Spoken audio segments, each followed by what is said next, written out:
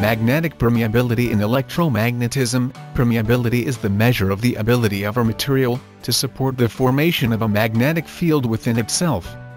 In other words, it is the degree of magnetization that a material obtains in response to an applied magnetic field. Magnetic permeability is typically represented by the Greek letter micro. The term was coined in September 1885 by Oliver Heaviside. The reciprocal of magnetic permeability is magnetic reluctivity. In SI units, permeability is measured in henries per meter hm1, or newtons per ampere squared Na2.